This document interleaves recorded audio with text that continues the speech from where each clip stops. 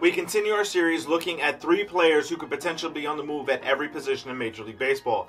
Today, that position is center field. Let's get into it.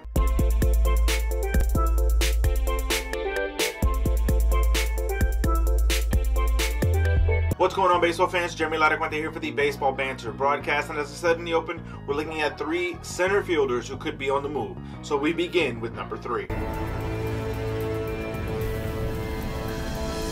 Now, the first center fielder who could be on the move from the Cincinnati Reds is Nick Senzel. I think there's an opportunity for the Reds to try to maximize their return on this player's investment. I think that there's an opportunity if the Reds are looking to be able to try to continue making moves to boost their farm system to be able to build for the future. Trading a guy like Nick Senzel could bring them back quite a bit of a return.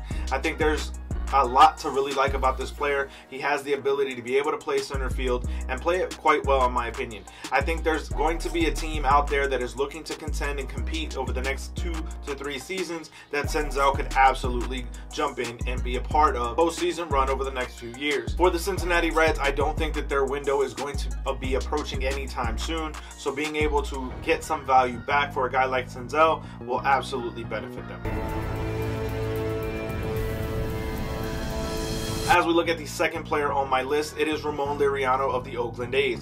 Oakland has found themselves on this list quite a bit throughout the different positions that we're looking at. And I think that when you look at what Ramon Laureano can provide a team, this is a defensive stalwart in center field who has a little bit of ability at the plate. Now, we don't know exactly how much of his PED suspension had to do with his boost in offensive performance over the last couple of seasons, but there's an opportunity that he can potentially tie on to a new team, get a new idea, new philosophy from a new hitting coach, and really start to blossom as an offensive player on top of being the defensive wizard that he is in center field. I think there's an opportunity for a contending team or a team that's just on the fringe, maybe like a Philadelphia, who could absolutely use some help in center field. As we know that Philadelphia Phillies, for example, are a team that has a lot to be desired when it comes to defensive metrics. So being able to bring in a guy who can cover more ground in center could absolutely help them. But Ramon Laureano isn't just limited to the Philadelphia Phillies. There are quite a number of teams who could absolutely use his services, and that to me is part of the reason why he makes this list.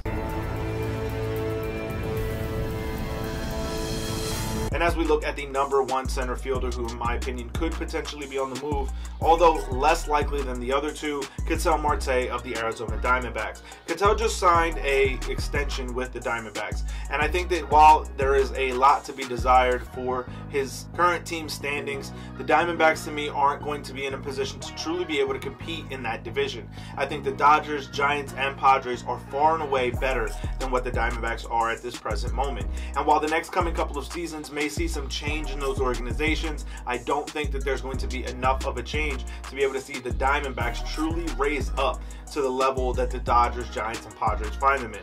They're, to me, the fourth best team in this division at best even though there are things to start really being encouraged by with, like I said, pitching coach Brent Strom, someone that we covered here earlier in the season. I think there is an opportunity that if Ketel Marte is made available by the Arizona Diamondbacks, the King's ransom that could be had for a player like this would absolutely bring the Diamondbacks much closer to the best that they could possibly be in this division. But I want to hear from you guys. Let me know your thoughts, your feelings on this down in the comment section below. Who are your choices for potential center fielders to be moved by the trading deadline in this 2022 Major League Baseball season? Let me know all these things down in the comment section below or find me over on Twitter at jlaracuente19 to keep the conversation rolling. As always, keep it locked into the entire GLMG family with Sibs, the Granted Geek Show, and of course here on the Baseball Banter broadcast. For sticking around to this point, head over to baseballbanterbroadcast.com, our merchandise shop. Use the promo code BANTER to save 5% off your order. Keep it locked in all season as we continue to round out this series here, looking at three players who could potentially be on the move from every position, as well as the latest news, notes, and my personal thoughts, theories, and opinions on the game of Major League Baseball. Peace.